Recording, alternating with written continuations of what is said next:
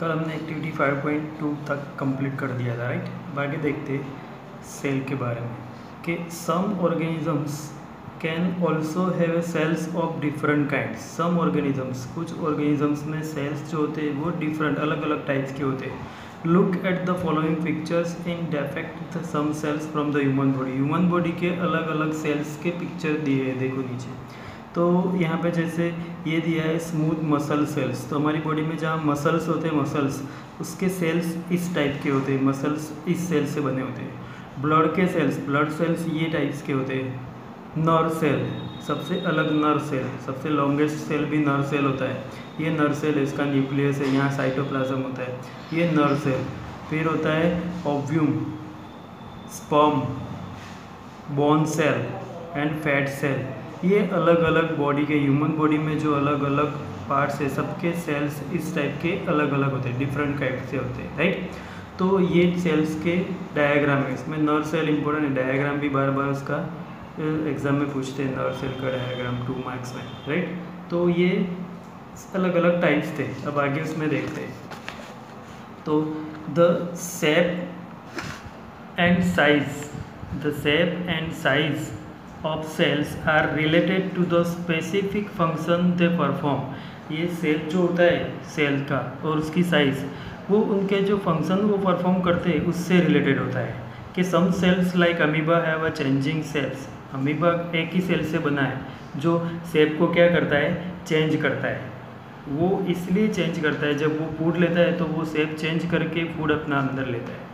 In some cases, the cell shape could be more or less fixed and peculiar for a particular type of cell. In some cases, दूसरे cases में cells के shape could be more or less fixed. कुछ fix होता है कुछ ज़्यादा fix होता है कुछ कम फिक्स होता है इस टाइप के सेल्स होते हैं for example nerve cell have a typical shape nerve cell typical shape है वो ऑलवेज ऐसे ही रहता है उसमें कोई चेंजेस नहीं आते right each living cells Each living cell has a capacity to perform certain basic functions that are characteristics of a living forms.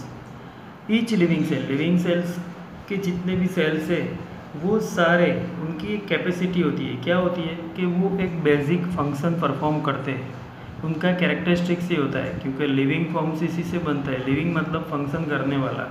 वो एक ईच एंड एवरी सेल जब फ़ंक्शन करता है तब लिविंग ऑर्गेनिजम्स बनता है। तो how does a living cell perform this basic basic function तो वो बेसिक फ़ंक्शन कैसे करता है राइट तो we know that there a division of labour in multicellular organisms such a human beings हमें पता है कि मल्टी सेल्युलर ऑर्गेनिजम्स में क्या होता है? Division of labour division of labour मतलब काम का डिवाइड होता है कि ये काम वो करेगा, ये काम ये पार्ट करेगा, सब पार्ट्स अलग अलग काम करते हैं। डिवीज़न ऑफ़ लेबर होता है राइट ह्यूमन बींग में। तो this means that different parts of the human body perform different functions मतलब डिफरेंट पार्ट्स जो होते हैं, वो अलग अलग फ़ंक्शंस करते हैं। तो the human body has a heart to pump blood human body में सबसे पहले हार्ट क्या करता है? तो ब्लड को पंप करता है। Stomach to digest food and so on और दूसरे भी फ़ंक्शन कर रहे हैं। Similarly division of labour is also seen within a single cell single cell में ये डिवीज़न ऑफ़ लेबर दिखाई देता है। In fact each cell each such cell has got certain specific components और ये जो डिवीज़न हुआ, उसके सब सेल्स का सिंग अलग अलग फ़ंक्शन होता है और उसके साथ साथ ईच सेल दो सेल है गॉट सर्टेन स्पेसिफिक कंपोनेंट्स उनके भी अलग अलग कंपोनेंट्स है। सेल के अंदर एक सेल में भी कुछ बहुत सारे छोटे छोटे अलग अलग पार्ट्स होते हैं मतलब within its known as cell organelles उसे क्या बोलते हैं?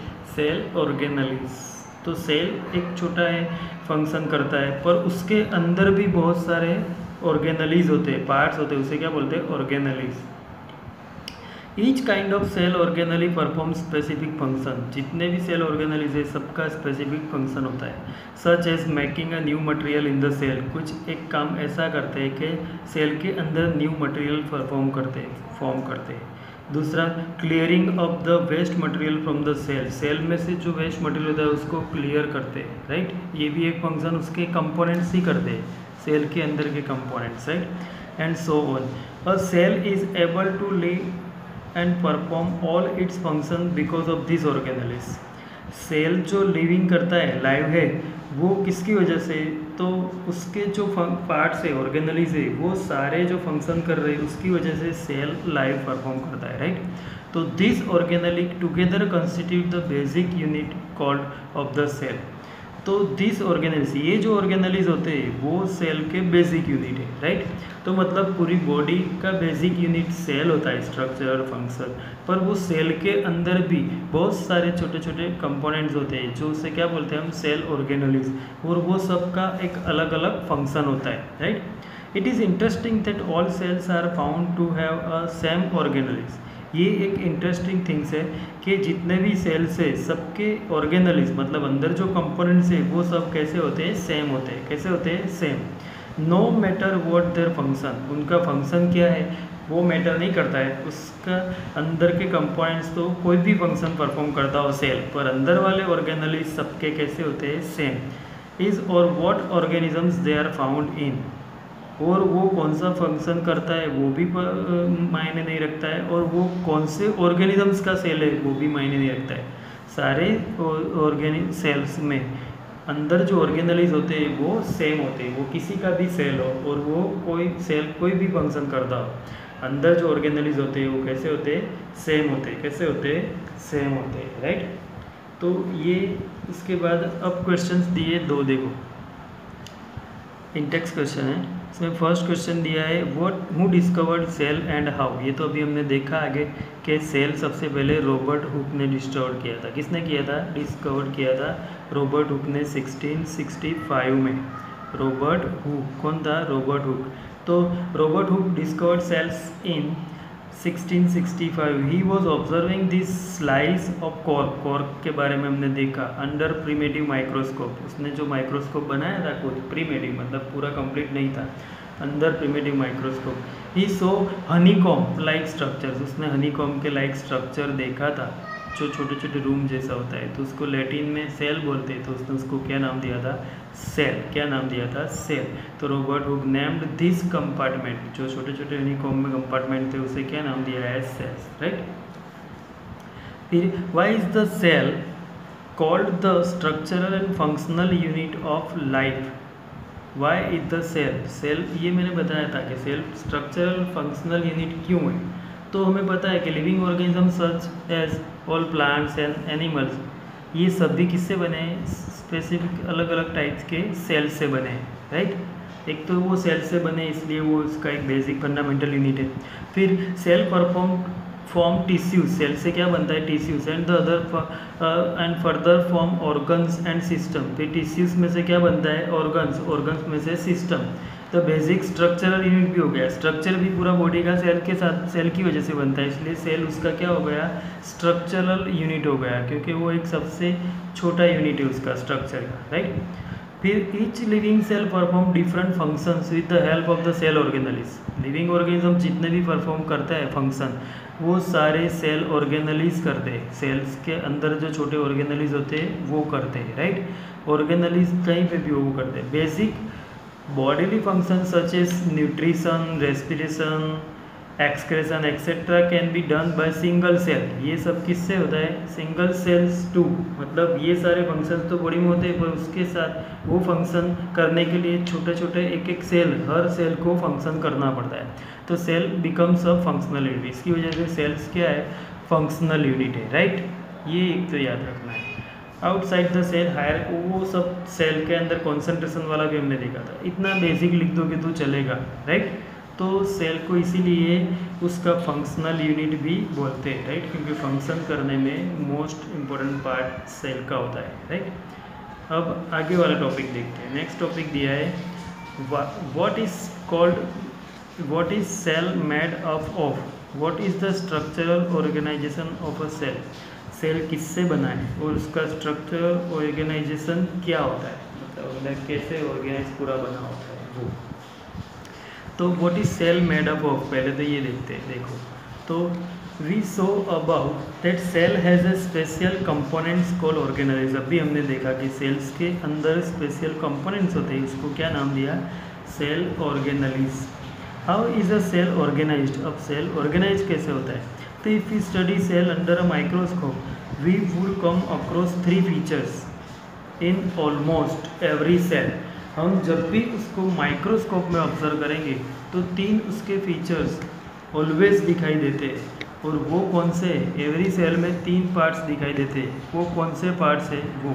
तो उसमें सबसे पहले एक पार्ट्स होता है प्लाज्मा मेम्ब्रेन क्या होता है? प्लाज्मा मेम्ब्रेन दूसरा होता है न्यूक्लियस, जो सेंटर में होता है एंड साइटोप्लाज्म तीन पार्ट्स हर सेल में दिखाई देते हैं। All activities inside the cell and interactions of the cell with its environment are possible due to this features cell के अंदर जितनी भी एक्टिविटीज़ होती है, वो और एनवायरनमेंट के साथ वो पॉसिबल जितने भी इंटरेक्शंस करता है सेल वो ये तीन के लिए पॉसिबल बनती है। लेट अस सी हाउ वो कैसे होता है वो।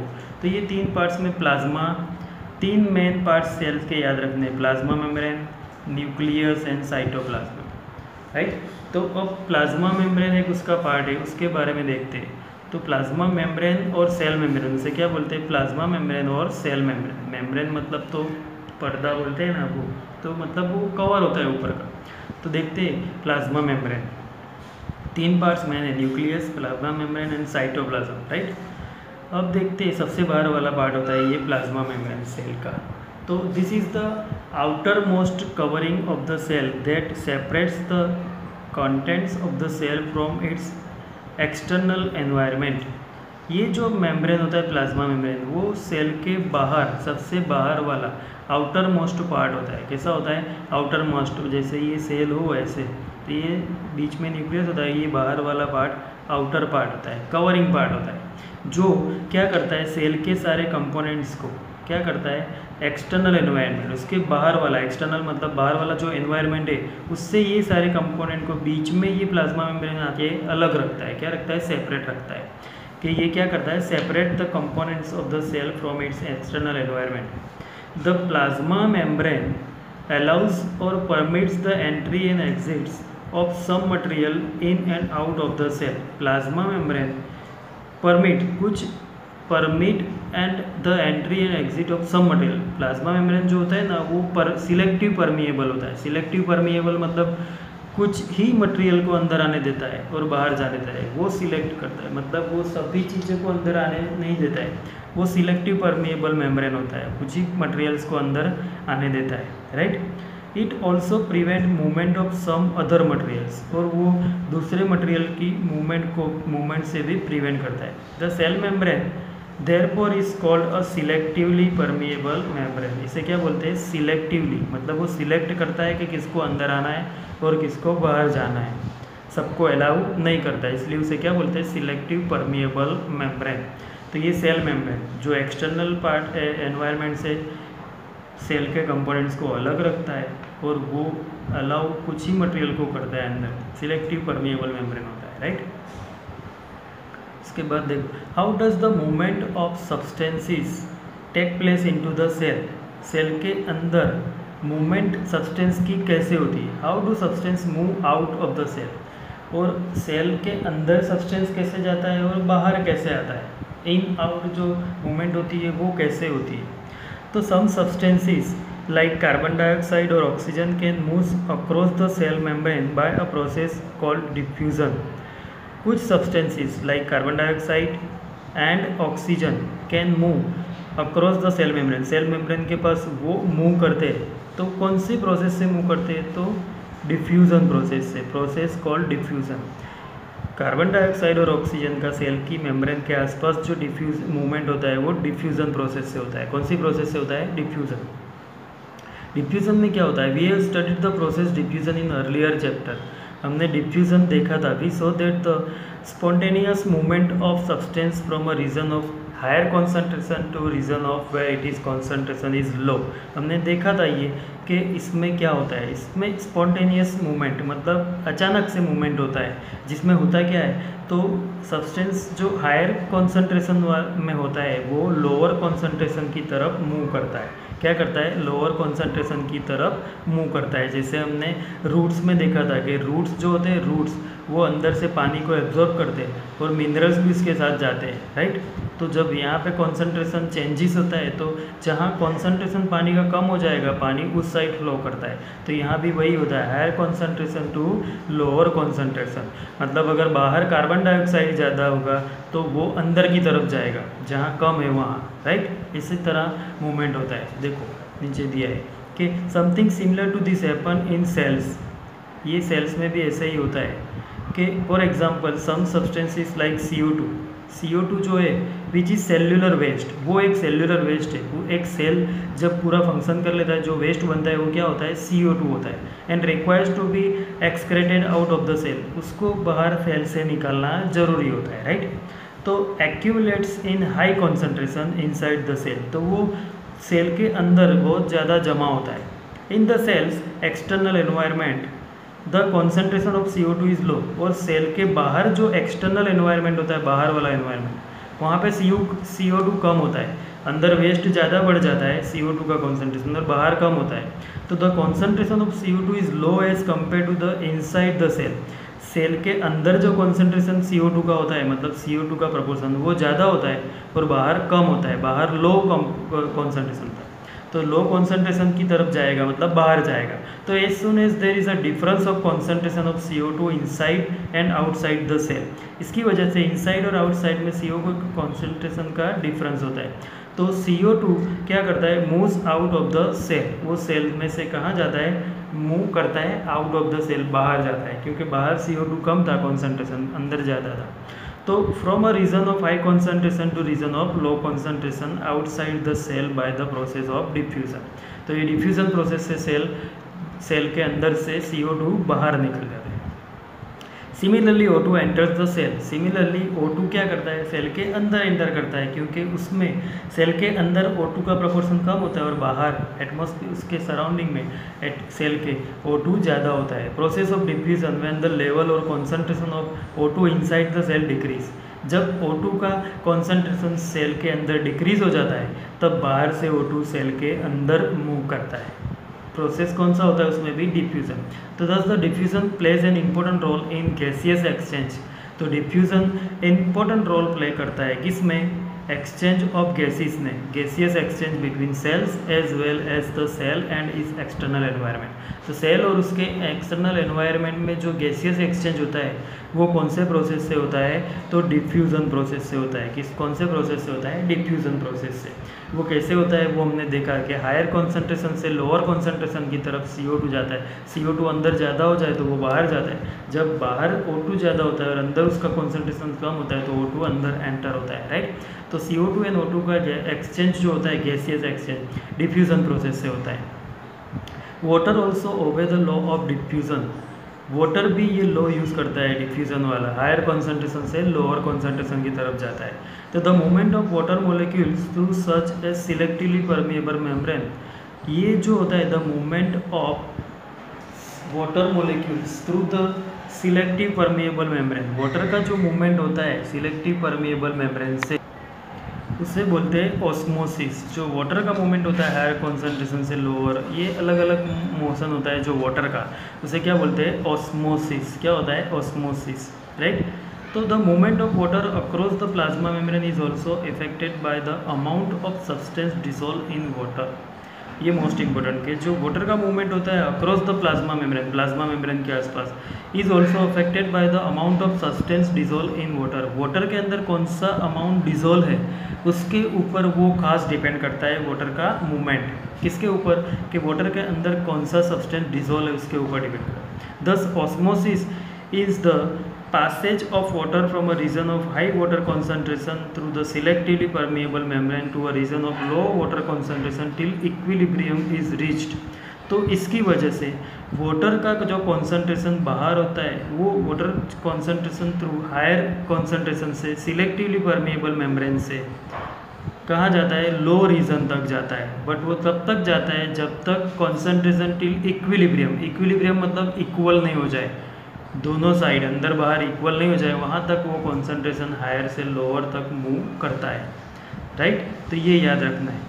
What will happen if we put a animal cell or a plant cell into a solution of sugar or salt water?